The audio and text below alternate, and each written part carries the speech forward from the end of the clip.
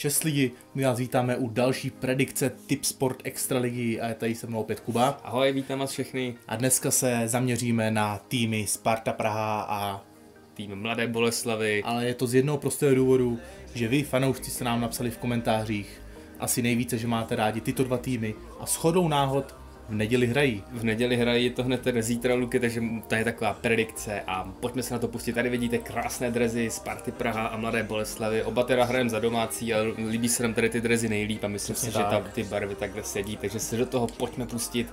Tady vidíte hodnocení Sparta Praha je oždibec trošku lepší uh, než Mladá Boleslav, ale jenom v útoku a a obr- obranu teda tam populhává Mladá Boleslav, ale pojďme se podívat na formace Luky, popiš svoji první lineu Tim Sedlund, Ondřej Román a Robert Lantoši nadále na centru například Maty Ervinen, Tomáš Ford, Pavel Skalický. Jak to vypadá u tebe, Kubo? Když se podíváme, tak můj hlavní center, taky uh, reprezentační hokejista Vladimír Sobotka, takže uh, potom můžeme vidět Michala Řepíka, Jana Buchteleho, Vitoucha, uh, Pavla Kousala a když přejdeme na obranou, na obrané formace, tak můj hlavní obránce levý bude Michal Kempný, podporovat ho bude Michal Trutil a David Němeček s eh, Vojtěchem Mozíkem, když přejdeme kluky k tvé formaci. Já udělám ještě jednu změnu, vedle Adama Janošíka nastoupí Martin Pláněk, další dvojka, Štivinger Pirochta, Bernát Pokud počítáme, dobře, máš tam dva Slováky, Janošíka no. a Pavla Skalického. Mělo by to takto být. A když přejdeme k tomu, co vás všechny zajímá, tak můj hlavní golman bude Jakub Kovář a jako dvojka bude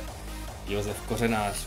Moji první roli ujme Filip Novotný a jako dvojka, kdyby se náhodou zranil, nebo dopadlo špatně skoro Jan Lužička. Přesně, tak Luke, pojďme se do toho pustit. A golmani jsou to, na co se těším hodně, protože jsme viděli, když jsme hráli ty dva předešlé zápasy. Jak Furcha, taky Hrachovinu. Kometa Brno, Pardubice a pak jsme hráli Třinec, Luky a České Budějovice a tam Dominik Hrachovina, Dominik Furch, oba golmani, za které jsem chytal, předváděli skvělé zákroky, že si zlámali kosti v těle všechny. Tak uvidíme dneska kováře, Kuba. Ale oba to byli Dominici, pokud se nepletu. Takže Lukine, teď uvidíme, jak se vydaří Jakubu Kovářovi a na úvodní hlasování Roman Sobotka. Ondřej Roman proti Vladimíru Sobotkovi a začíná nám zápas Mladá Boleslav proti Sparta Praha. Sparta Praha byla úspěšnější na úvodní hazování a Michal Kempný hned takhle ze začátku bude muset spěchat, protože právě Ondřej Roman výborně teď atakoval uh, hráče hlavního města a teď je tu Michal Řepík, ten se dostává do samostatného někoho Řepík, není to gol, já už jsem se tady radoval, skákal jsem radostí ke stropu, ale výborný zákrok na golmana na straně Mladé Boleslavy. Tak to je úvod, krásný začátek, opět Ondřej Roman, hlavní center v řadách Mladé Boleslavy, ale dostal dobrý hit a Krutil teď musí spěchat za do své obrany, aby podpořil své spoluhráče. Teď je tu Sobotka, krásná klička a spěchá Sobotka dopředu. Pořád Sobotka ještě hledá své spoluhráče. Řepík zlomil hokejku, dobrá akce, ale... Pěkný šance na začátek Pěkný šance, šance uh, obě tedy byly pro Spartu Praha, až teď na tady tu skvělou střelu, kterou Jakub Kovář vyrazil. Ale kde pokulhávám, jsou to, že se krásně zmocňuješ těch kotoučů a dokážeš se uh, dobře dostávat do uniku, Tam se ti zatím daří. Teď je tu Michal Řepík, ten nahrává Krutilovi, ten pálí a ty máš víc štěstí než to... rozumu, ale Michal Řepík, Luky, chvíli si myslel, že bude nedovolené bránění. Poprosíme no. režii o opakovaný záběr. Já jsem myslel, že to nebylo v obrusty, ale koukne na to, ale teď už je jasný, že gol bude platit. Ano. Na to.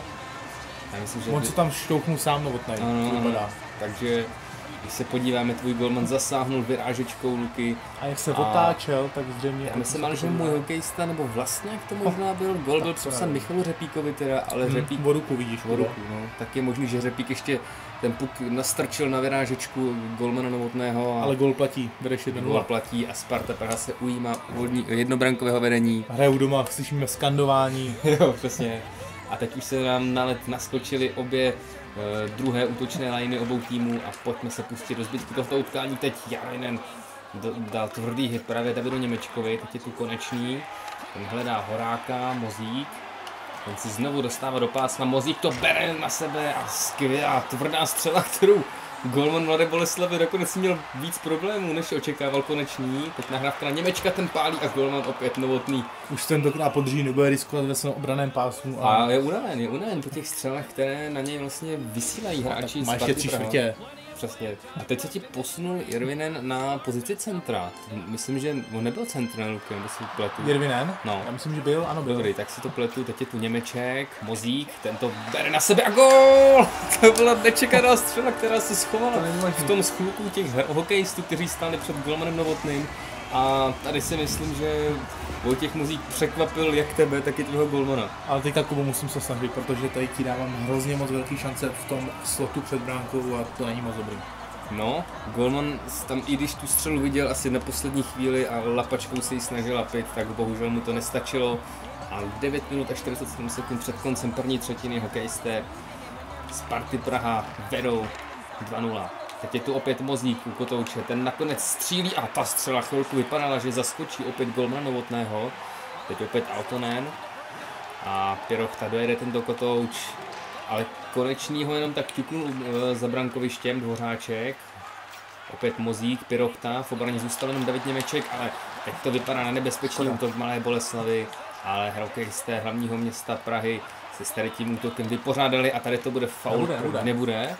Tak to se divím, ale hokejisté Sparty Praha pořád zůstanou. Ale já se nemůžu Kubo dostat k nějakým větším šancím. A tady to taky byl faul, i když to tak vypadalo. Vypadalo to, já jsem si myslel, že u toho hrazení před minutkou, že tam to právě se bude jednat o nějaký nedovolený zákrok, ale bohužel sudí tak neposoudili. Teď je to opět Altonen a hokejista Mladé Boleslavy v obrovské šanci, jsou v pásmu a golman Jakub Kovář přikryje kotouč.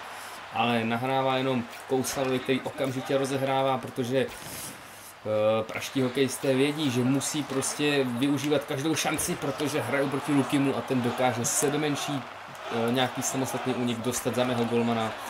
Ty nájezdy opravdu mu velice jdou, takže na to si musím dávat pozor, ale teď tady to Luky nevyřešil dobře. A teď Buchtele míří dopředu, je tu opět nájezd, ale Buchtele nemá rychlost, je unavený a musí se vrátit na střídačku. Takže tady to jsme nevyřešili dobře, odtíká jenom posledních půl minutka z první třetinky a skvělý. výborný Kovář, Kubo. Teď Tady jsem ještě ten- do ní nejel. No, ale on tě možná, že, že tam zasáhnul ještě kovář. To, to, to zřejmě ano. Mrzí mě, že ta nám tady režie neopak, nedává třeba nájezdy hokejistů na let Luky před zápasem. Mrzí mě, že třeba nám neukazuje nějaké opakované záběry, víš, že to všechno z toho v tom NHL 4 není, no. Že to tam prostě bylo v těch dřívějších NHLkách, ale teď Michal Řepík už tady tou střelou nic neví. Třeba Kubo uvidíme, ještě bude nějaký update, fanoušci si budou stěžovat, tak uvidíme. Hmm, ale je to škoda, no, že nevidíš nějaké ty nástupy hokejistů na let před zápasem. A ještě To- větší škoda je, že prohrála 2-0. A vidíme Aspoň mě. střely 8 k 2 ve prospěch hráčů Sparty. Eh, Když se podíváme, tak jednoznačná zatím převaha hokejistů eh, Sparty Praha, ať už se to týká přihrávek, osobní souboj tam teda vede 4 na 4 k 1, ale pojďme se pustit na druhou třetinku tohoto napínavého utkání. Sparta které- hraje doma, takže ale oba góly byly těžký. takové, ten měl jsem první nájezd, ten jsem tam skvěle vychytal, tvůj gól novotný. Ale pak jsem využil takovou střelu, kterou asi nečekal, že vůbec skončí v brankovišti. ale to asi nikdo. nečekal nikdo, ale nakonec opravdu hokejisté Prahy vedou 2-0. Teď je tu jenom Lantoš, proti němu spěchá Michal Kempný, ten ho dobře atakoval. A pořád hrajeme bez faulu, to se mi taky zatím líbí Luky. A teď Roman zahodil tutovku, možná ne, nejsem si jistý, jestli A Kovář. gol, tady to prošlo mezi betonem a gol, Kubo, pěkný gol. Tak teď jsem se trošku unáhlil s tím radováním, že Luky neproměnil tady tu šanci a hokejisté Mladé Boleslavy se radují. Robert Lantoši střelil gol a je to 2-1, pojďme se na to podívat. Tam vlastně skvělý zákrok Jakuba Kováře a pak se ještě krásně přemístil a zasáhnul i na tu druhé střele. Z toho nejnebezpečnějšího slotu hnedka před brankářem.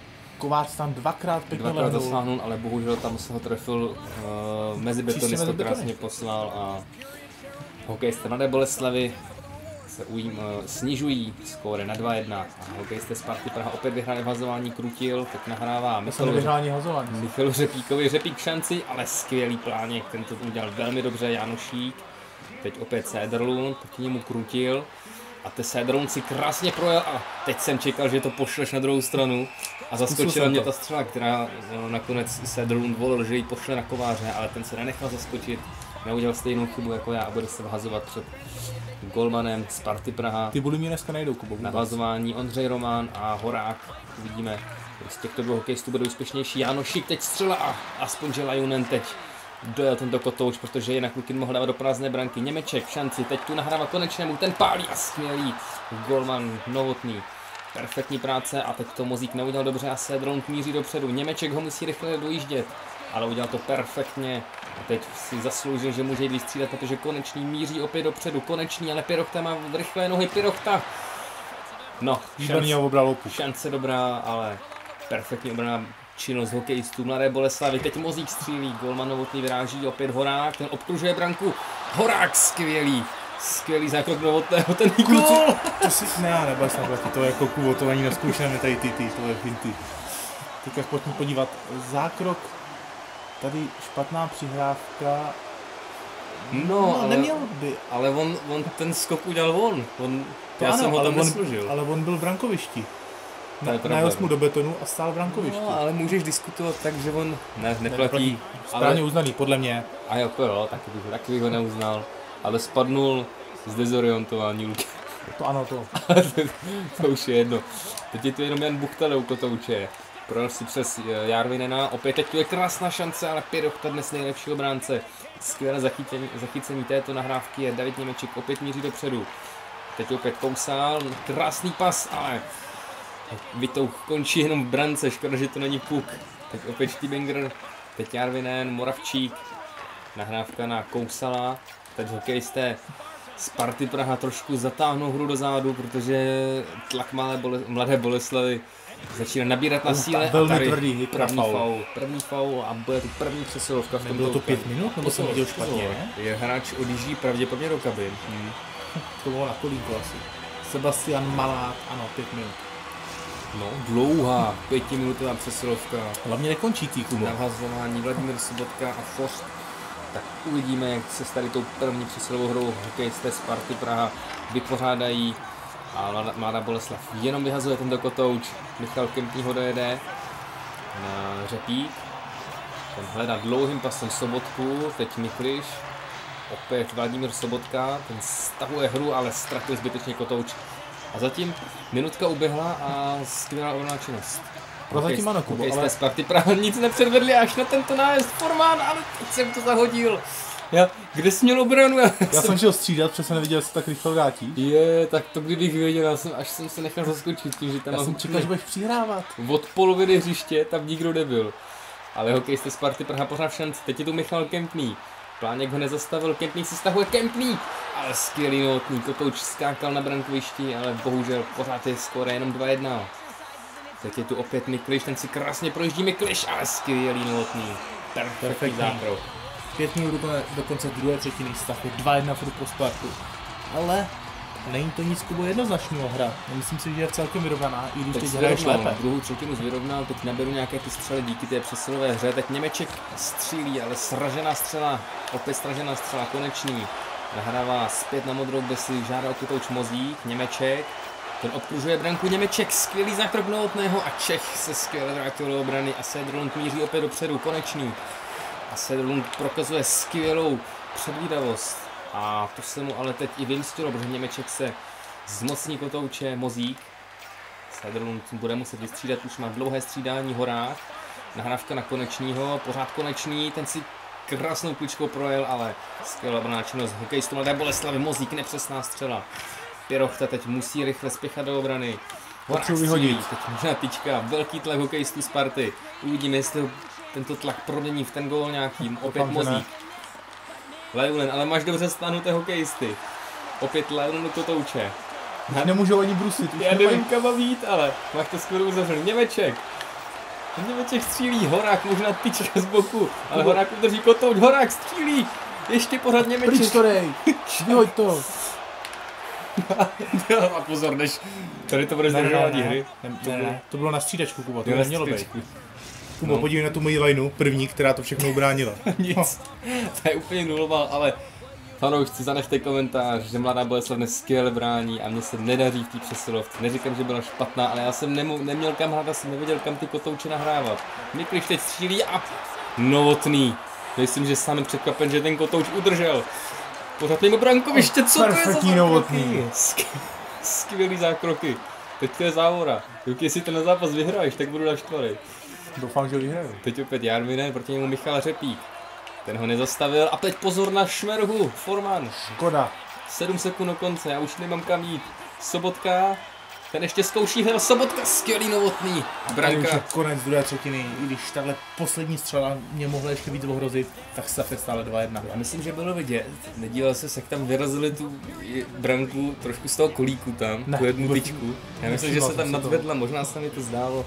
Každopádně Sparta přestřílela mladou Boleslav v druhé třetině. 20 ku 7 střely, o 13 střel víc, ale je to z toho důvodu, že jsem hrál pětiminutovou přesilovku, ale pánbůh. skvěle ubránil, doba v útoku už skoro 6 minut, Lukin 2,5 minutky.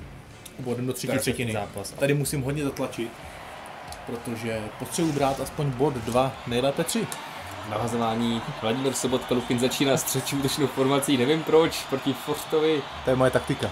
A, a zatím se daří, protože Sobotka prohrál vazování proti Forstovi a teď už je to jenom Pláněk a takového Michal Řepík, Janošík, ale zatím třeba Pavel Skalický moc není u kotouče Luky, moc jsem ho neviděl, jestli vůbec. Tak nevím, jestli není zraněn, ale Doufám, že ne. nedal jsem ti žádný nebezpečný hit, takže opět Michal Kempný, přebruslit si Janošíka, Řepík, ten střílí Řepík, skvělý novotný. Tady to byla dobrá akce, kterou hokejisté Sparty Praha vytvořili a teď opět se musí vracet zpět do obrany, protože Mladá Boleslav teď bude vytahovat své růžky a ukazovat, že pořád má na to obratit tento zápas. Lantoši odkružuje branku Román Ale a tohle pozor, nechtěl. teď Kovář mohl litovat tady té chybičky, kterou jsem udělal v obraně. Já jsem chtěl z toho nulového úhle vystřelit, ale on nevystřelil. Ale tam dopadlo to dobře, aspoň nějakou střelou. naštěstí to dopadlo tak, jak to dopadlo, ale vybojoval aspoň hazování před brankou Jakuba Kováře. To se cení. A vyhrál na hazování 8 ku 8, eh, 8 ku 5 pro hokejisty Sparty Praha. Jánošík, ten střílí Kovář neviděl, ale podařilo se mu vyrazit kotouč před sebe. Opět Stránský a tento Myslím, že to udělal blbý, ale Jánošík se stejně ke kotouči nějakým způsobem dostal. Dvořáček, ale Lejunen ho obral puk. 13,5 minutky do konce. Kempný. Už nemá energii, ale pořád si dostává do pásma. Kempný střílí, golman novotný, přikryl kotouč. Perfektní, teďka už máme strnu na kůže, Kubo. Lionen ho ještě atakoval, aby ten kotouč rychle pustil před sebe. Bohužel. Tady to je, Kubo, velmi napjatý. 12 minut 44 vteřin do konce třetí třetiny. Tak Sparta Praha pořád vede 2-1. Němeček. On si hledá nějakou pozici na střelbu, ale nakonec nahlává Jamonu Buchtelemu, který pálí o modré, ale ta střel nenajde svůj cíl. Mozík. Nahrávka na Kousala, ten byl obrano kotouč, ale Sparta pořád drží puk na svých hokejkách. Kousal opět nepřesná střela, dvě střely ob- obě mimo branku. Pláněk. Nahrává výborně Pavlu Skalickému, který Ale bohužel se neprobojoval do útočného pásma a přišel ještě ve středním pásmu jako kotouč. A teď Sparta jde do útoku. Kousal si obkružuje branku, ale skvělý pláněk, zase opravdu perfektní obraná činnost tvých hokejistů, dobře hraješ do obrany, strašně dobře si tam uzavřeš ten trouhelník, nevím, jestli si zase neměl nějaké ty formace, Neměnil Kubo. ale, ale ten tvůj trouhelník v obraně zatím mi dělá opravdu problém, jak na ně vyzrát. No a moje dva rychlé góly, Luky, možná opravdu takhle skončí 2-1, uvidíme, Vítou jde dopředu. Nakonec to bere na sebe, ale neřešil to ideálním způsobem Dvořáček a takového David Němeček. Stránský. A tady to je dobrá šance! Ale ko- kovář ještě možná vyšťouchnul Kubo. Vypíchnutí To, hokejkou to není Kovář. možný. A Vladimír Sobotka plný energie míří dopředu. Sobotka na druhé straně volný hřepík, ale novotný podrží kotouč, ale hned rozehrává, protože hokejistů Mladé Boleslavy utíkají ty cené minutky každou sekundou a už je to jenom třeba půl minutky do konce. Gol! Ne, to není možný! Kubo, Ty to dostaneš do prodloužení. Tyjo, teďka Kubo, Spat- tady nechal duši. takový kámen ze srdce. Říkám, co teď? Viděl jsem tam tu krosovou přihrávku, říkám, za zkoušku nic Ty to ještě obrátíš ten zápas. Do prčic. Ne, musíme, musím udělat nějakou změnu, nastoupí uh, obrana, for, první obrana lajna a první útočná. 3 minutky a 15 sekund. Mladá Boleslav vyrovnala z 2-0 na 2-2. Pojďme se pustit do posledních minut tohoto utkání. Teď je tu Forman. Ten si krásně projel, pořád tady to šance, to vypadá nebezpečně, ale skvělý Pirochta, zase obraný zákrok, perfektní. Nemám mu co vytknout. A Pirochta pořád u kotouče. Ale neudělal to dobře, Řepík se zmocní puku, Řepík obkružuje, Řepík, skvělý novotný a jinam po druhé. Jestli si Kubo všim, tak NHL 24 už to není jen tak lehký obět tu bránu a dát gol. Co ty golmani mají nový zákroky, nový Mají, skoky. No, furt je to jeden z těch nejjednodušších způsobů, jak dát gol. Ale já jsem ještě takový gol nedal. Já jo, ale nemám takovou ideální pozici na to. Každopádně Kempný teď pálí od modré, ale trefil jenom jednoho hokejistu Mladé Boleslavy do brusle. Konečný. Ten si krásně prží konečný, ale Kotouč Já to ještě podržím, protože tady Tam nebyla jistota, jestli to novotný mám přikrytý. Jasně, 25 vteřin tu, tady budu co nejvíc teďka se držet od naší brány. A Luky, tady ta střela od Michala Kempného, která končila na Bernardovi, nebo jak se jmenoval, uh, Brusli, tak pravděpodobně dostal do nohy a odešel do kabiny. Takže první hokejista, kvůli který zranění bude muset opustit zápas. Krutě, Luky už si lehá, on ví, co budu dělat. Konečný střílí. Pryč! Ty To srandu. Tak to byly milimetry. Co dělá, Pořád co hora. dělá? 15 Pryč. sekund do konce. Pryč! Lajunen si udrží Pryč. pásmo. Lajunen! To není možný. Hoši, hoši, hoši. Klid, klid, klid. Já to nebudu komentovat, tady ten zákrok novotního, co tam teď předved. Kemplí. A 10 sekund do prodloužení. Tak teďka jsem se úplně normálně, to není možný. Kouknem Kubo rychle na střely a jdeme to dohrát, protože... Viděl jsi ten poslední zákrok proti Lajunenový střele? Od novotného. Tak dneska excelují opět oba dva golmani střely. Kapku jsem střílel, ale furt vedeš na ty střely. No, co k tomu dodat? Luky, pojďme na to. Pojďme se pustit do prodloužení a novotný ti teď udržel naděje, ale co je dobrý, aspoň mám ten, dá se říct, jeden bodík jistý a pojďme Přesně. na to. Forman Sobotka proti Sederlandovi a hokejisté Mladé Boleslavy byli úspěšnější. Ale hnedka půl odevzdali. Tak, tak. Forman míří dopředu, teď se žene Kempný. A ten to nakonec projel vším, nevím jak. A ještě tam srazil Bernarda k zemi. Kempný, nahrávka na Forman, novotný, přikryje kotouč, to už je jenom taková tukanice. Hokejisté jsou unavení, Luky, i když se to nezná, tak opravdu už to bruslení není tak rychlé, jak by si představoval a zmatky na obou stranách. Co, co ty myšlíš? Já vůbec nevím, jak mám dostat se dopředu. Sederlund, teď pozor na Romana, Kempný, A dělovka vedle. to byla ale dobrá ráda vedle. A Kemplík teď taky zmatkuje v obradě. A už to budou nájezdy. Půl minutky do konce prodloužení. Mikliš ještě míří dopředu. Ještě nahrávka na Formana. Ještě zpětný pas Faul, faul. faul. 4 na 3, Kubo, 20 vteřin. Máš 20 vzácných vteřin, 4 na 3. To může rozhodnout. A já, Bernard. a já udělám změnu. Já odvolám golmana. Kubo, 20 jak jsi, sekund před jak jsi mohl všimnout, možná tak, Asi si fanoušci říkáte, Kubo, ty jsi blázen. 20 sekund před koncem. ale Kubo děláš dobře. Z jakého důvodu? Protože tohle to dělají i normálně v extralize. Jo, i, Ano, i, když, i když je stav skoro vy- 2-2. Je stav vyrovnaný 3-3 a hrajou přesilovku 5 na 4, tak je výhodnější pro ně hrát 6 na 4. Takže já zažádám o oddechový čas, mám 20 sekund, vhazování před brankářem novotným.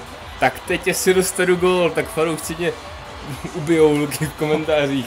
Hlavně ty Kubo. spartí fanoušci, pojďme na to. Teď by měl před šestý hokejista a Luky vyhrál hazování. Ne! Ty Už to kráso, vedle. to si děláš srandu a už myslíš, že to tam pošleš. Němeček, kdo udrží tento kotouč. 10 sekund do konce, nervy. začíná hrát, teď už zač... Pitomej pás. Pyrochta, dojede tento Co děláš? tak tady to nevíde, Luky, tady to nevíde, ne! Nevyšlo to, kurva.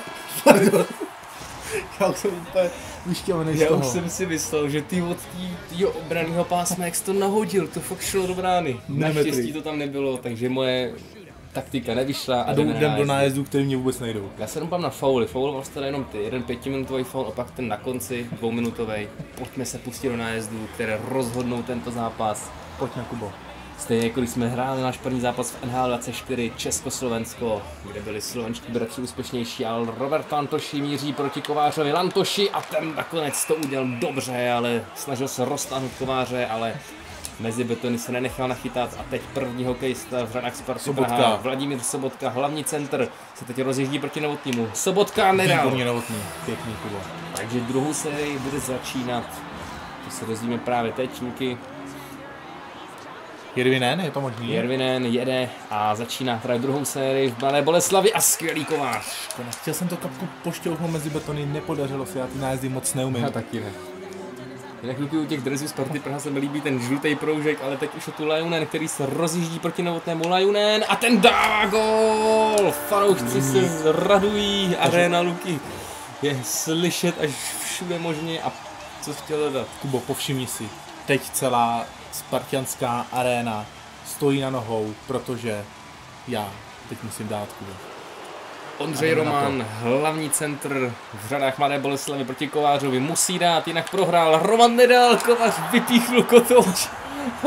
Lukin se raduje, nebo raduje.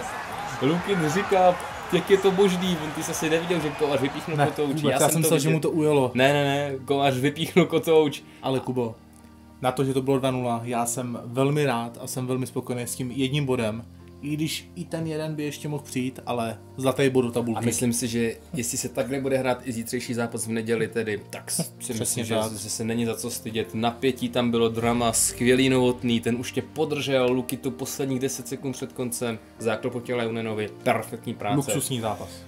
Kovář taky skvělý. Já mám štěstí, že jsem podařil dát ty dva rychlé góly v první třetince. Tady střelil 31 k 12. Lukin vyrovnal krásně a myslím si, že líp to skončit nemohlo. Takže fanoušci, my, my už se s vámi pro teď rozloučíme. Pokud se vám video líbilo, tak nám nezapomeňte napsat do komentáře. A jestli... nám určitě taky do komentáře, jaký máte váš oblíbený tým, a jak se vám teď momentálně daří? Přesně tak, jak se vám daří, jak se vám líbí na 24 a jestli chcete, aby jsme pokračovali v predikci tady těch extraligových zápasů a teď už se mějte krásně a ahoj. Hezký den, ahoj.